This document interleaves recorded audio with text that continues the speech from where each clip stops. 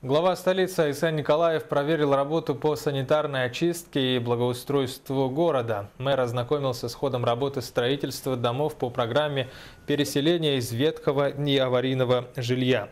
Осмотрел строящиеся дома в поселке Газовиков и в районе ГРЭС по улице Бабушкина, 12. Строительство здания в поселке Газовиков отстает от графика. Тем не менее, планируют к 1 июня завершить все работы.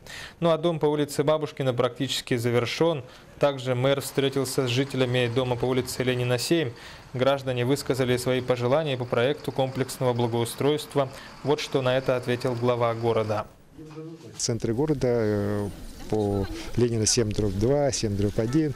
У нас э, тоже вот такой достаточно хороший проект уже рождается, комплексное благоустройство, когда и дом будет у нас 7 э, дробь 2, например, уже в этом году будет по программе капитального ремонта ремонтироваться, и двор у нас будет делаться, внутриквартальные проезды. Я думаю, что это вот э, как раз будет качественное изменение городской среды и, конечно же, это повышение качества жизни наших горожан. Поэтому это будет не только здесь, конечно, на Ленина 732, вот, но и во многих других уголках нашего города.